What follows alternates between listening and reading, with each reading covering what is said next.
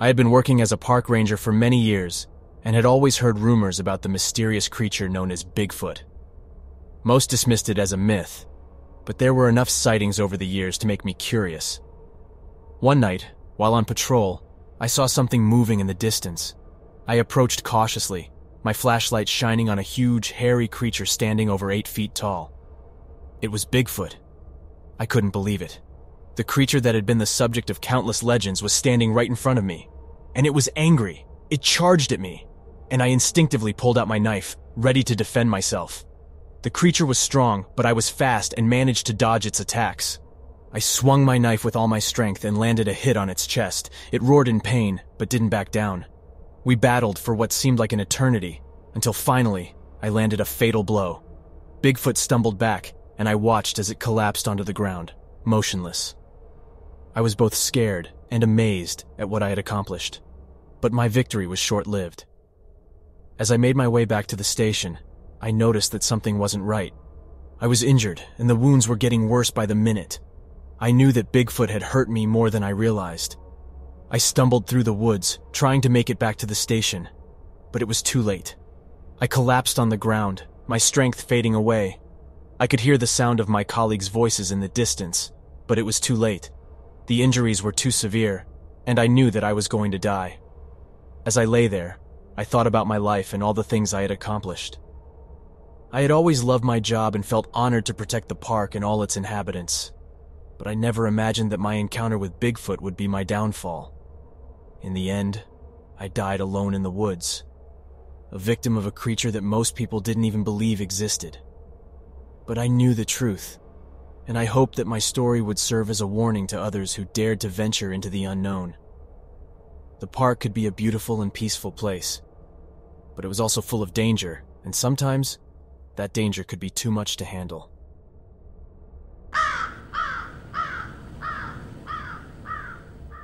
I was a junior park ranger, newly stationed at Yosemite National Park.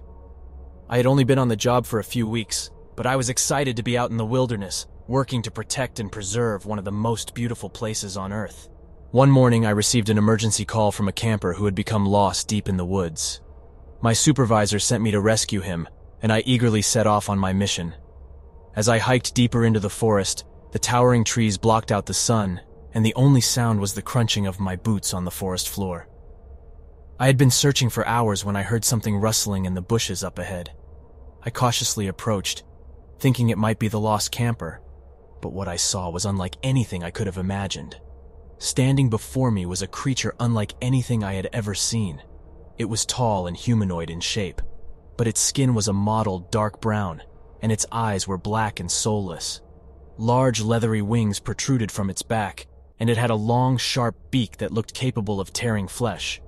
It was a Mothman creature, and it was terrifying. I froze in place, unable to move as the creature lunged at me. I managed to dodge out of the way at the last moment, but one of its wings brushed against my arm, leaving a deep gash. I stumbled backwards, my mind racing as I tried to think of a way to defend myself. The creature let out an ear piercing screech and took flight, disappearing into the trees. I felt a surge of relief that it was gone, but I knew I needed to get help fast. I reached for my radio, but there was no response when I called for assistance. I was lost in the woods and alone, with a monster on the loose. I tried to make my way back to the trailhead, but it was as if the forest was against me. Every time I thought I was getting close, I found myself in a thicket of thorns or a marshy bog. I couldn't shake the feeling that I was being watched, and I knew that the creature was out there, stalking me. As the day turned into night and the darkness closed in, my fear turned to desperation. I was lost, injured, and alone in the woods with a terrifying creature hunting me. I knew that if I didn't find a way out soon, it was only a matter of time before the Mothman found me. I thought about my family, my friends, my dreams, and all the things I would never be able to accomplish. I knew that it was the end for me. The creature killed me, or I will die of hunger and exposure.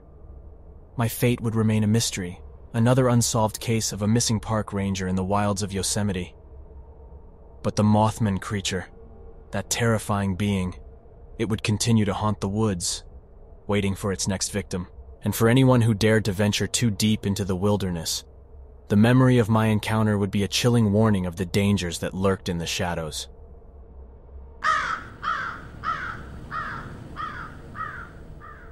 I used to work on a hospital campus at a place where patients receiving treatment stayed. It was like Ronald McDonald House, but for adults. I usually worked second shift. There were a little bit of woods around the place and a walking path. After turning down the lights and just having a lamp on at the front desk, the place became a little eerie. As long as we check in and out patients and answer the phones, we are allowed to sit there and read. Now, I should mention that I've had a few creepy experiences there and consider myself somewhat of a sensitive. On this particular night, I had been reading about the Fae and people's encounters. I had also been learning about opening up my third eye. I like to read about all kinds of things. I'm spiritual but skeptical too. Well, it was getting to be close to the end of my shift, and I started getting ready to leave. As I walked out of the automatic door, nobody around, I got the distinctive feeling someone was walking behind me, so much so that the hair on the back of my neck stood up. As I got to my car, I turned around to see if someone was there, and there was no one. I then heard a high pitched giggle from the bushes. I got goosebumps all over and got the hell out of there.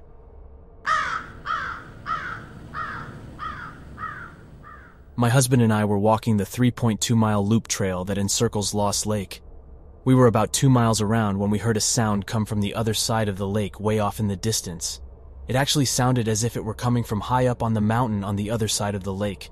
It was a howl, call sound. It was extremely quiet, and since the birds and other sounds were so clear, we are very sure it was miles away. The sound started low and guttural and reached an amazingly high pitch. It was fairly short in duration, and my husband and I both stopped walking as soon as we heard it. We are wondering if anyone else heard it. We only passed two or three other people on the trail. It was a very quiet fall afternoon. After listening to your audio clips on this website, it sounded most like the sounds recorded in the Klamath area of California in 1993. It might also be of interest that one of the camper sightings in this area from around 94, 96 was at the exact time of day in the Lost Lake area.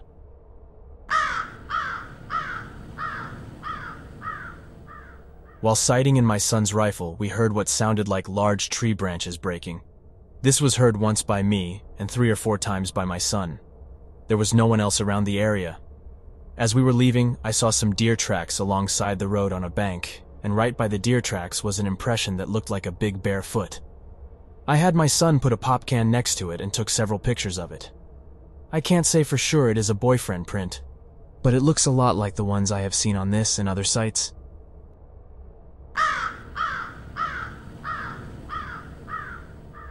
I posted this a couple hours ago, and someone told me to look into crawlers. If anyone knows if a crawler would target a person, or people please tell me. I'm thinking if it is, there's something in my area drawing them here. I always have an uneasy and malicious feeling whenever I go to this one line of houses behind some trees that surround me. Here's the original post. So I've had a slight problem around my house for a bit over a year. I'm in a southern town in Michigan, and I live right next to the woods. My house is less than a meter away from the trees. I'm surrounded by it for nearly a mile on each side, if we're not counting the road. Last year in October, I was outside with a couple friends at about 11 p.m. at night. We were near a park down the street, and suddenly a large black mass comes out of the darkness. It was a dog, I figured, but oddly tall, about up to my shoulders, for reference, I'm 5 feet 6, and stood about 6 feet away. It had a deep bark and we OIC ran. This happened for the next few nights anywhere near the park. The only time I saw its eyes was the last night. They were green and reflected like a lamp. May I add, every time this happened, it didn't matter if we literally had a light straight on it. We couldn't see its features or anything. The park is fairly well lit too. Another odd instance was when my friend and I were on a walk again, about 4 a.m. in December of 2020, roughly a couple months after, and we had sat down at a mailbox. I had a bad feeling and felt the need to go back fast, but my friend needed a break. We had been walking for a bit, so we didn't go. Less than two minutes later, we hear this human like scream from all around us. It sounded like it was traveling in a circle getting closer. It had a gurgling and odd tone to it that made me think it wasn't human. Either way, we ran back. I figured it was coyotes or something. So I researched some of the animals' calls from near me. None got even close to matching. In February of this year, my sister was out with a couple others.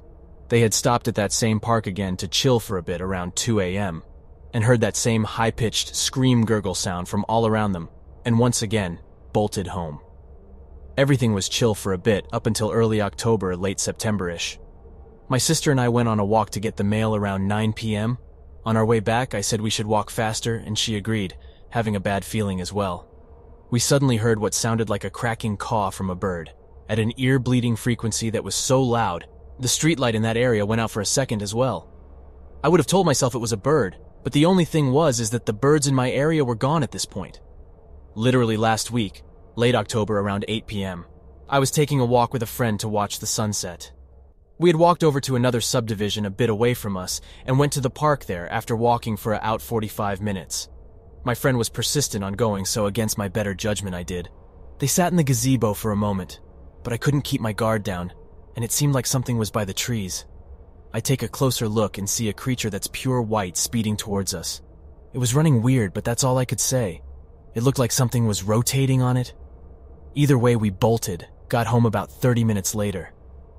The reason I'm even posting this for help is because it's getting out of hand. About an hour ago, early November 8 p.m., my sister, friend, and I went to go for a walk. I had a rotting pumpkin, and my mom told me to go throw it in the woods. We walk to the back to do so, and we see a large white figure speeding past us just behind the trees. I want to say it was a deer, but it was too large and white to be one. I just need to know what this is. It's been terrorizing me and everyone around me for a while. I've even looked into calling an expert, but I don't know what I'd say. Help?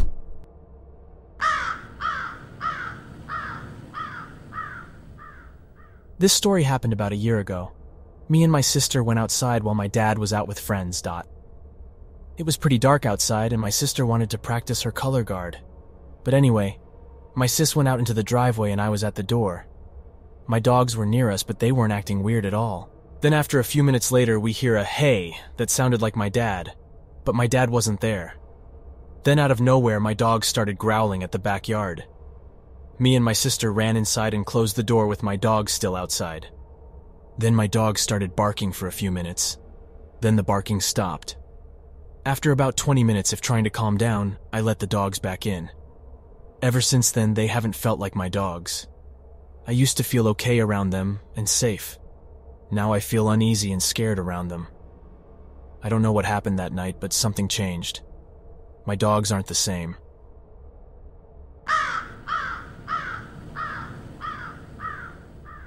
Just wanted to share an experience I had a couple months ago to see if anyone else could help me try and understand better what is going on, and if anyone else has experienced something similar.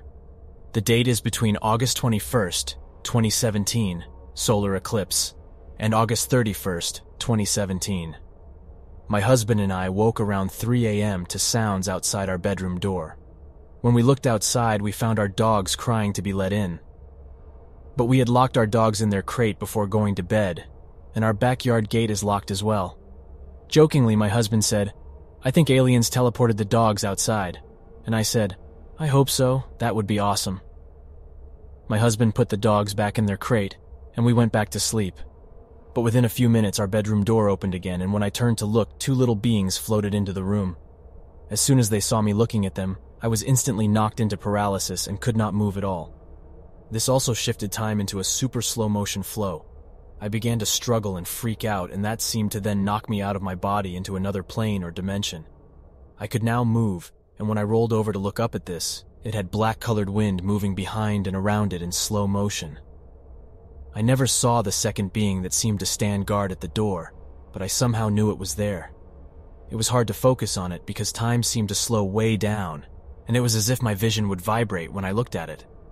It had an extremely white head shaped like a Chinese dragon mask, I thought it might be a mask at first, with very protruding brows and forehead.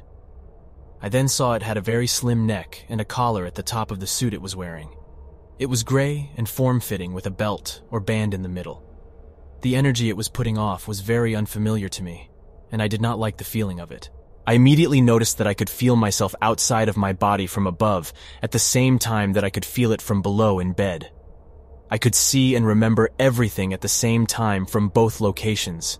My instincts told me to create a protection field around my husband and me in bed, and I pushed out this blue sphere of light around us from below. But as I was watching myself do this from above, it looked like a flat blue circle instead of three-dimensional. I was really struggling from below to move and wake my husband up. I could start to feel myself swaying and trying to shake. From above, the energy was so uncomfortable that I wanted to get out of the room immediately. I started floating out my door and then hovering above my pool outside. It was well lit outside, not sure if it was close to a full moon or it was an artificial light from above. I felt as if my body inside could almost break free from this paralysis when I was sucked back into my room and shot up in bed. I woke my husband up and said, They were just here floating around like Peter Pan. He could also feel that something was off and didn't quite know what was going on. He ended up getting our 9mm out and stayed up in the living room for the rest of the night. The time on the clock when this started was 3:23, and when I shot up in bed it was 4:14. I wrote everything down to try and make sense of it all, and a few months later my notes disappeared. I knew something was missing in that hour in between the beginning and the end of the experience, so I went to hypnosis to try and recover my memories. Hypnosis session. There was an hour of time missing from the night the two beings came into my room, and this is what came to the surface during my hypnosis session. I felt sucked out of my bedroom and floated out above our pool outside through our sliding glass door. I then remember being in an extremely bright white room that eventually turned into a large oval-shaped room with a metallic table in the center.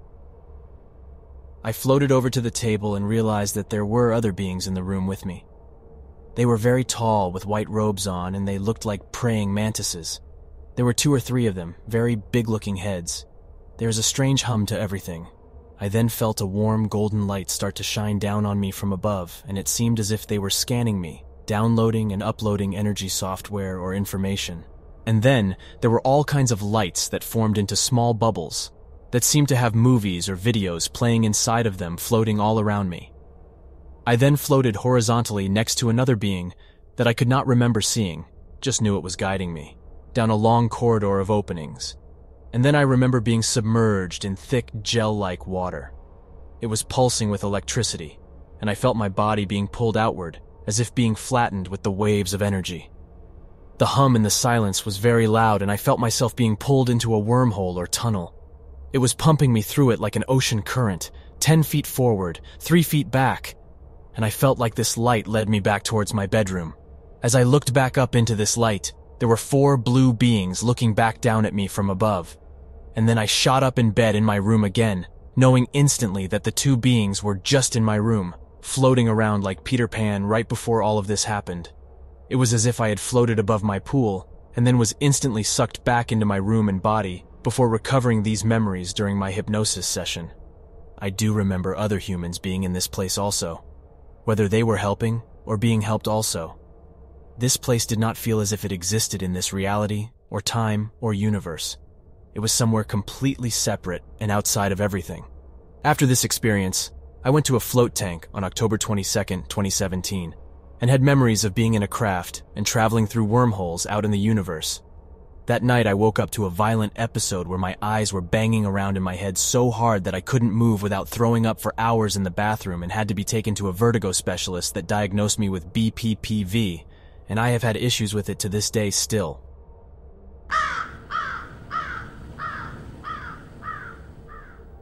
The Bell Witch was a local haint in my hometown that is a story in its own right, but I have an old tale related to her.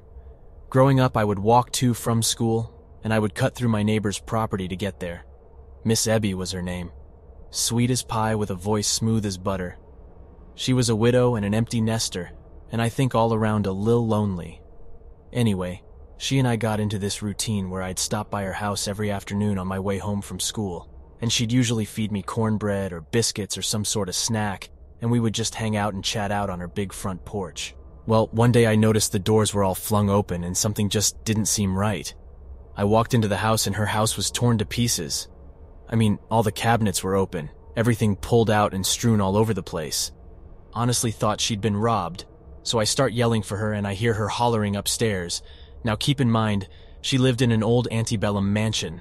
This place was huge and though I was there every day, I never made it past the kitchen so I hear her yelling for me upstairs and I run up this huge grand staircase and through this winding hallway and I find her in her bedroom. She is distraught. She's hooting and hollering and wailing, I can't find it! I can't find the book! I asked her, what book? And she says, The spell book. I knew exactly what she had meant at that point. Somewhere down her family lineage was relation to the Bell Witch, and somehow she had come into possession of one of her spell book. This was common knowledge to her close friends and loved ones.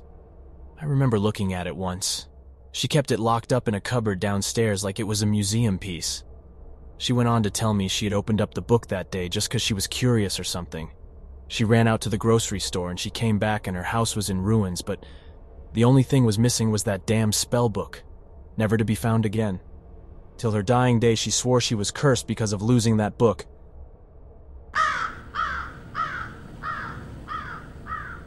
My own personal encounter with a boogeyman was actually in town around dawn. I was in probably fifth grade, and unlike most kids, I was an early riser. It was actually about this time of year, probably 6:30 in the morning, and I was standing over the kitchen sink looking out the window with a cup of coffee. Hillbilly kid. Coffee at age 10 was normal. Twitch. While mom got ready for work. It was kind of foggy out and just starting to get light enough that you could see things clearly. Our house looked over a large yard, more of a field when you had to mow it, that sloped downhill with an old access road, maybe 120 feet from the window I was at, cut across it to reach the back of the property. It was all grassed over and smooth, so we kept it mown like the rest of the yard. I turned around for some reason, and when I looked back out the window, down on the access road, this thing was walking down it from left to right. It was easily six feet long without the tail, and two, three feet high at the shoulder. Four long legs, walking steadily forward with its proportionally small head down and forward just like a dog heading somewhere with intention. What struck me was its coloration and tail. It was overall a brown color, just a generic brown dog color. But it had almost a cape, wouldn't say mane, of dark hair that went from its head over its front shoulders and tapered partway down its back with a long, curved, bushy tail held low and curving upward. At that distance, ears were indistinguishable, and its muzzle was oriented away from me, so it was hard to tell what kind of face it had. Its physical appearance said big dog, but the way it walked was exactly like a lion. It had a sort of sway and rolled its feet into the ground,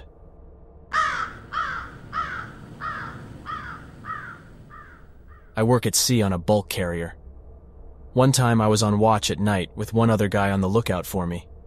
He was looking forward out the windows and I was just making coffee, wandering from equipment to equipment to monitor the situation. We were in the open ocean and there was nothing shown on our AIS and nothing on the radar, so I was happy to be a bit chilled about it all. Then I came back to the radar screens and a target was showing on our longer range, S-band radar. So I selected it and got the system to track its course and speed, etc. I kept an eye on it from then and asked the lookout to keep an eye out for another vessel on our starboard bow, where it should be coming into visual range in a few minutes. The target then showed up on the X-band radar, so I acquired it on that. I went back to the long-range radar and had a look at the tracking details, and the system was telling me that the other vessel was on a collision course for about 40 minutes' time. I had the target, which I assumed was a vessel, on my starboard bow, so that made me the give-way vessel in a crossing situation, so I knew what I had to do when it came to it and wanted to take early action. But I was still weary that neither myself or the lookout had even spotted it yet. I had another look at the AIS, Auto ID system, to see if there was anything out there, and it showed nothing. It's not uncommon for AIS to be crappy. Thought nothing of it. I altered my course to starboard to pass astern of the target at the sort of normal distance and got the closest point of approach up to the recommended two miles. Still, couldn't see anything.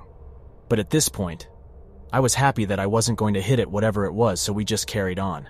After we passed the vessel and the range had increased up to about four miles, it vanished off both radars, just like that.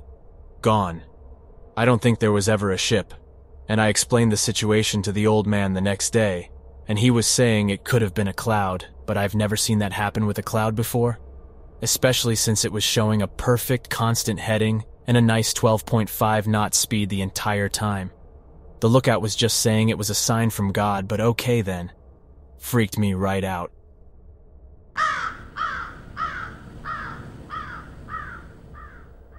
I used to work security, and several years ago, I was assigned to a remote construction site where a summer camp was being built. It was quite literally in the middle of the woods, roughly four or five miles into the forest with only a single access road they'd been using to haul equipment and supplies and such. My job was to provide overnight security, doing a foot patrol of the entire area. The patrol covered two miles in all. Roughly once every hour, and then going back to my post, a tiny wooden shack not much bigger than a phone booth, to fill out my logs. Other than the occasional black bears and coyotes, it was a very boring assignment. With one exception. I was doing a routine patrol one night near the end of my shift, around 3 a.m. or so. I just passed the gate where the access road enters the site when I heard an extremely loud, piercing scream that seemed to have come from some distance down the road. It sounded like a woman screaming in absolute terror, so I immediately took off sprinting as fast as I could in that direction. I didn't hear anything else after the initial scream, but about a quarter of a mile or so down the road, guesstimating, I came upon a car parked just off the side of the road. There was no car in sight when I'd come through on my way to my shift, so it had to have been parked there fairly recently. Not running, no lights on, no doors open or anything. I called out to see if anyone was there, but no answer. I looked around the general area but didn't see anything. Needless to say, I was pretty god D sketched out at this point. I ran back to my post and reported what I'd heard seen to the police since there wasn't really anything else I could do. Unfortunately, or fortunately, I guess, nothing ever really came of it. I never found out whose scream I heard or what caused it. The car was apparently owned by a guy who lived in the area, but I never heard why it was there. My supervisor suggested that maybe I'd heard a mountain lion or other animals screaming, but I've heard those sounds before. And although they're definitely freaky, there's no mistaking an honest to goodness human scream. Thanks for listening, dear ghouls. Hope you enjoyed these stories. Do comment, like, and subscribe. If not for us, then for YouTube algorithm that helps push the video to the greater audience. Thank you, dear family.